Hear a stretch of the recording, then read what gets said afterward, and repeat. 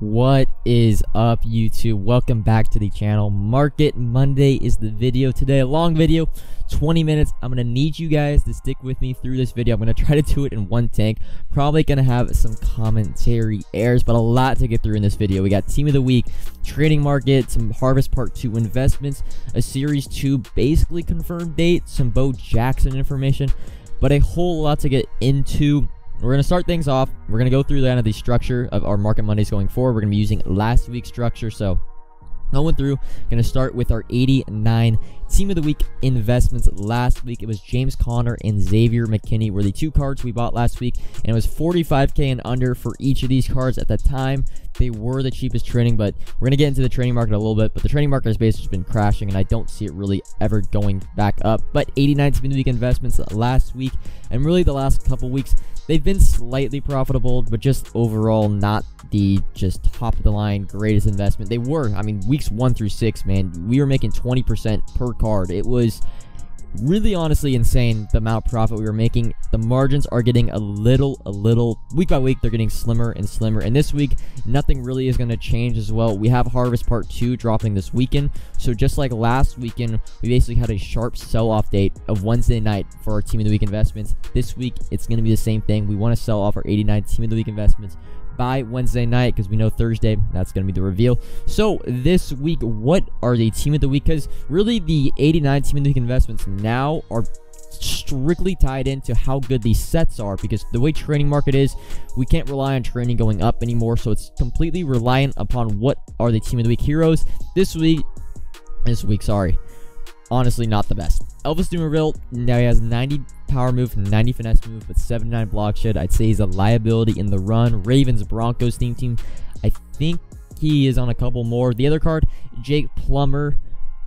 Broncos Cardinals theme team scrambler archetype, which is a little bit confusing to me. But he has 86 speed, so he, he will get escape bars. I don't know what that 95 overall threshold for scrambler, if they get any other special abilities, because I know 95 overall is kind of like basically you can get new abilities at a certain, you basically get like secondary abilities at a certain archetype. Jamal Adams, on the other hand, I think this is a very good card. Now, I know we've said Jabrill Peppers wasn't a good card, but Jamal Adams is a little bit different. Why? It's basically just because of his theme teams. Seahawks and Jets are two probably top five theme teams, at least from the meta or the competitive side of Madden. With Robby Anderson making Jets really good, and then Seahawks got like DK Metcalf and those type of cards.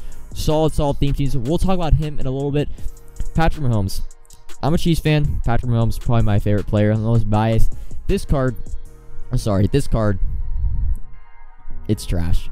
He's one throw power less to be able to get Gunslinger and he has 75, 75 speed, so he does not get escape artist. This is the most pointless 95 overall quarterback in the game.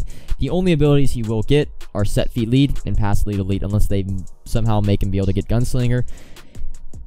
Ah, I have some choice words from EA Sports. Patrick, this is probably his only card he's going to get for the next month or two, and he's pretty much just, he has never really been a meta card, and he's not going to be meta again this year, so I'm just not going to be able to use him because I personally think you need Gunslinger. To basically be throwing against the Blitz because, you know, the, the Patrick's release that they give him in-game is also really long. So overall, very disappointing for the team of the week set cards. Personally jamal adams is a pretty damn good card. We'll get into him and like what price we kind of think he's going to be at but the 90 overall.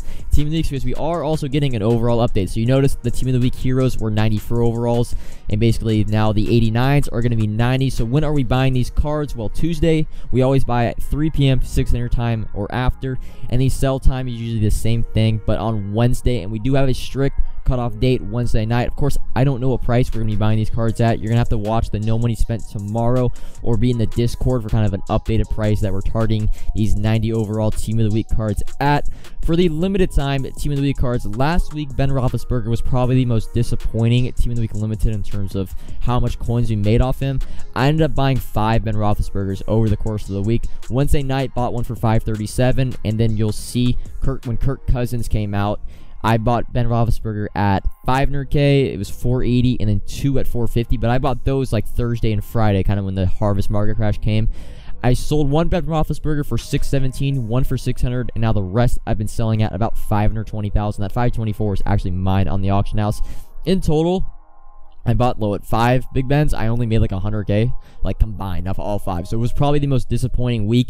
And the only reason Big Ben really didn't go up was because the Kirk Cousins that came out on Thursday, well Friday, but we got confirmation on Thursday that he was going to get Hot Route Master even without powering him up. So Big Ben basically went from the cheapest Hot Route Master to like, why would you, if you want to get a Hot Route Master quarterback, just go buy Kirk Cousins. There's no reason to buy Big Ben now unless you're a Steelers fan. So the demand for Big Ben basically went away when Kirk Cousins came out. That's why he basically didn't go up from like 500 to 700. He basically went from 500 to at one point 600, but now he's back down to like 520. Now Jamal Adams, on the other hand, overall stat wise, this card isn't much different than Jabrill Peppers, but with the theme teams of Seahawks Jets, I do think he has a really good ceiling. Of course, we don't know what price. I do think he's going to be a little bit more expensive, probably around that 600k mark, but I think he can get up to like throw from like 600 to 750. Of course, I can't, I'm not going to know the price, so I don't want to see any comments like, what are we buying Jamal Adams at? I have no clue. I don't actually look at the prices until Wednesday night when we actually buy them. But now moving on to the limited time market. In limiteds this last week were really, really good. Nick Bosa, well, two meta high meta cards. Nick Bosa, we bought at 410,000 coins or less. That was Friday night. I ended up picking up three, and currently now he's going for 550,000, so about an 85 to 100k profit per card, which of course is always solid. Profit is profit. Terron Armstead also actually went up around that 500. I sold mine Finally, I sold my last one off for 585,000 coins. And then Robby Anderson, the big money maker this past week. It took a while because PlayStation, he was like 650,000 coins all Friday. On Xbox, he was like 750 to 800. But finally, as the night went along, Robby Anderson crept down and I picked one up for 701 and 690. And now currently he is going for 900,000 coins, trying to get about 920 for him. I will say, with Robby Anderson, if you have Robby Anderson, don't be super super greedy like holding this card over a week because the minute a wide receiver comes out with the same speed as Robby Anderson, expect Robby Anderson to drop a couple hundred thousand coins in price. So if you have Robby Anderson, look to just take your profit. If you bought for anything basically under 800,000, you're making profit. Hopefully you bought that 700,000 mark, at least 750 or under for Robbie. Try to sell him anything really above 900k is solid. For Jabrill Peppers though, if you notice on my last no money spent, I actually did not invest in Jabrill Peppers. Probably the first limited I hadn't invested in since Kenny Clark and James Robinson, and was really just because of the price. I was trying to get him at originally 300,000 coins. I thought he'd slip down to that Saturday night. He really only got to 330, and I wanted at least 320 or less for him, and he just never got to that price. So it's a per learning example of just don't pay, don't basically over invest or just don't like take an investment because it's just a limited time card. And as you can see, Jabrill Peppers really hasn't gone up. If you have Jabrill Peppers, though, I do think there will be probably a window later on this week that you can sell for like 380 to 400k. Problem is, is the card now with Jamal Adams especially coming out, he's just not that high meta of a card. If you're going to come out with a limited 95 overall, 92 speed is a little too old. Probably should add 93, 94 speed. But you saw the sale prices of all my limiteds. We're now going to be transitioning into the training market because it's kind of been a hot commodity in my comments in my Discord of like, should we invest in trading? Trading is so low. Like, is it ever going to go up? Like, when is it going to go up? My issue with training, as well as with this harvest promo, we only have one limited in packs every weekend instead of two, like most feared. And with Blitz, Blitz is going to use the Blitz bits. I don't think it's really going to use training that that much training just doesn't have the same demand as it did like a month ago pretty much. There's no real point for training. You don't like it personally like i didn't even rip any rerolls this weekend because i wasn't that interested in pulling a jabrill peppers there was only one limited in packs and i think a lot of people were the same way and it's why we saw training. And why i told you guys basically last market monday this is coming thursday. Now, I did say training was going to start at a low price on Friday and kind of rise throughout the weekend, and it did to some degree it rose the ro- rose it rose a little bit like Saturday afternoon, but as soon as the Jabrill Peppers came out of packs, the training market crashed because there's no reason now after to like buy training for a reroll. And the training market going forward, I just don't see it ever going back up. With we have content coming out every single weekend now, probably the next two months. Like we'll we'll get into that. Like we got like two straight months of content training unless there is a super in demand reroll, which is like guaranteed profit, a loophole of some sort training is just never gonna basically rise like after a week. We're not we don't we're not gonna have a dead point where there's like it's just I don't see training ever going back up. It's like what 13 coins for training. It's like 40k for an 89 right now. eh, I just don't. I don't really ever see it going back. Up. Of course, you could always snipe training and sell and like arbitrage method at Wednesday, but the wildcard Wednesdays have been really disappointing the last couple weeks. So that's really my thoughts on the training market as a whole. I don't really ever see it going super high ever, probably for the next couple months. For the November calendar, we're talking. We talked about this last week, but Harvest Part One, the 12th, Harvest Part Two, the 19th, Blitz, the 26th, and I think season two is going to be dropping on. The numbers aren't there, but it's December 3rd. It's pretty much the Friday in between the Blitz promo, and the week after season two is probably going to be the start of the Christmas Day promo. It's a perfect kind of dead week in terms of, and like I've been saying, there's not going to be a lot of dead weeks going forward. And why do I say season two is going to be dropping on December 3rd? Well, it has to do with the Team Builder 2 goals. The objective list expires on the Thursday morning, the 2nd of December. We've seen basically with Team Diamonds, with Team Builder Part 2s, whenever a Team Affinity objective list expires on the Thursday morning, the following Friday, like the next day, we seem to get some sort of new content with Team Affinity. Team Affinity is tied in to kind of the season one and season two, just kind of as a whole. So I really think it's a perfect opportunity, and the dates kind of line up where season two, I think we're, I know it's like two or three weeks away,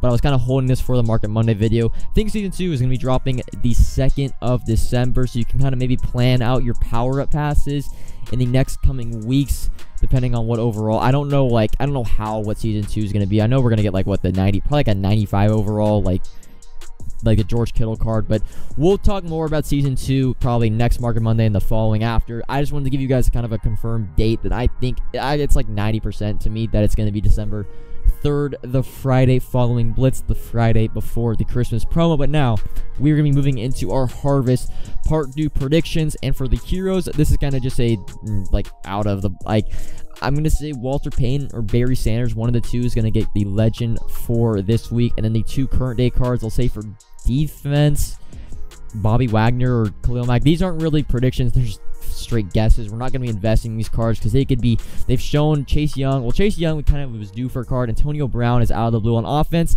We probably. I mean, we could get a quarterback. I, I really don't have a clue on who we get. Maybe Kyler Murray or Lamar Jackson. I have no idea. But what we do know is we are getting six more of those 92 overall hero cards that you get back as NCATs from the champion sets. And that is what we're going to be targeting in terms of our investments and my true predictions, right?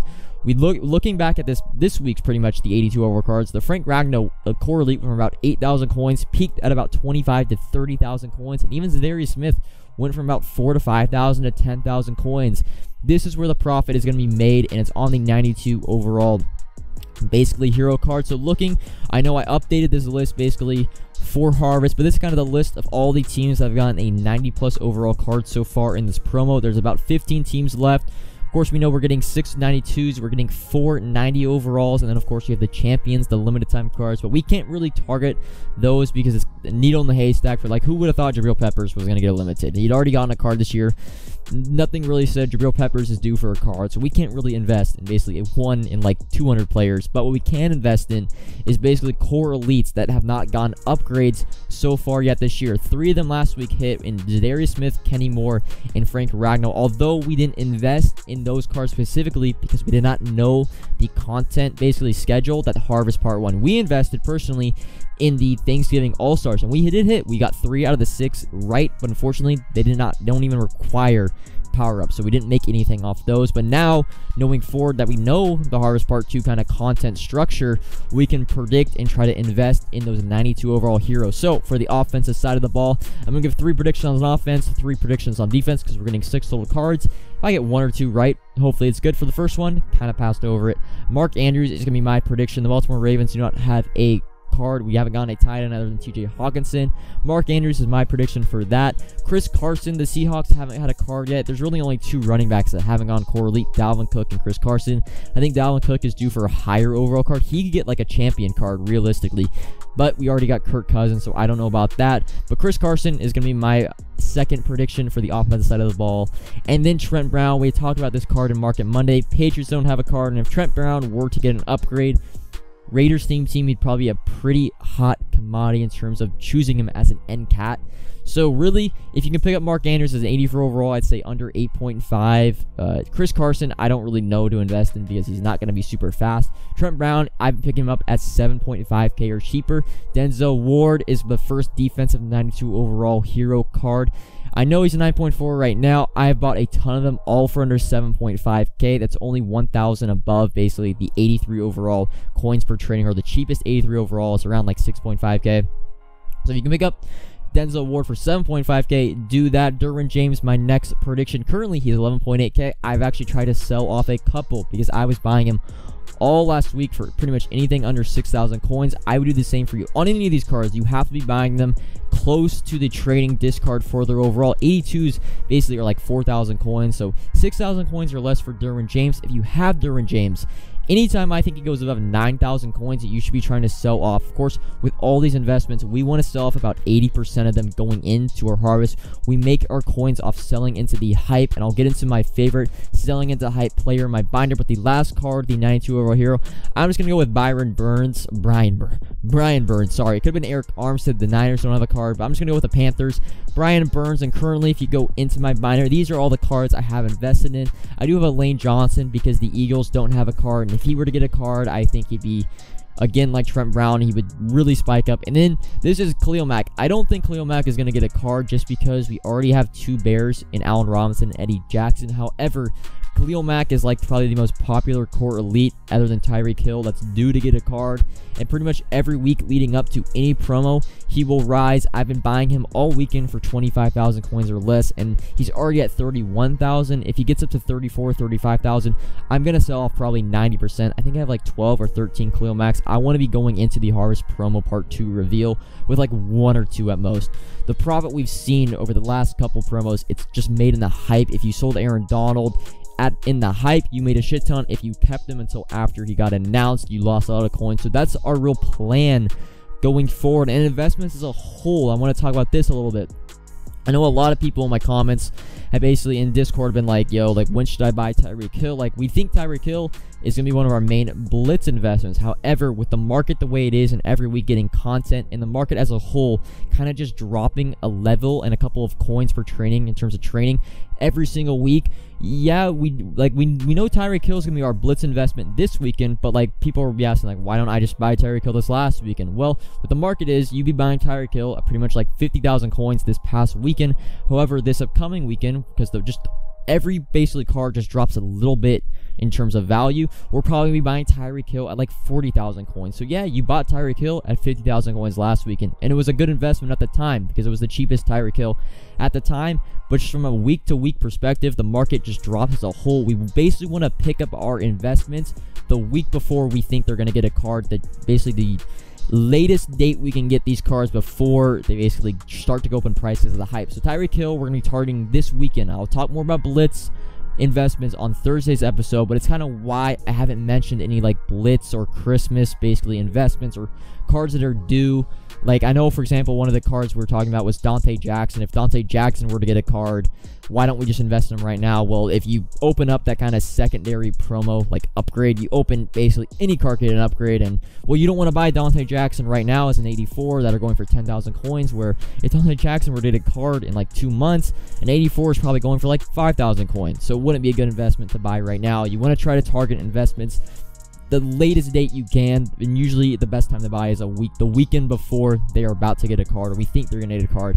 In terms of some other news to kind of wrap up this video, we are, since we're getting an overall update, all promos basically will get a plus one, so our flashbacks on Wednesday will be, I think, 492s and 193, but that does mean we're getting 93 reduxes this weekend, so if you have any limited time cards, like I have a Ronnie Hudson, I'm to try to sell him off either tomorrow or Wednesday before they announce that we're getting Redux. And then lastly, the Bo Jackson news.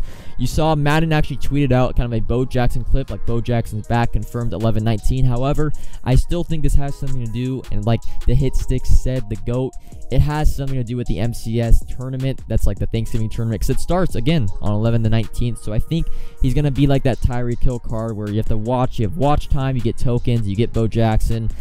But yeah, I think that is all for this Market Monday. A solid, juicy 20 minute video. hopefully, probably when you guys are listening, this is probably like my third or fourth take doing this. Took a long time, so support the channel, like if you enjoyed, comment if you have any questions. The Discord link, of course, is in the description. Subscribe if you're new until tomorrow's No Money Spent video. Peace.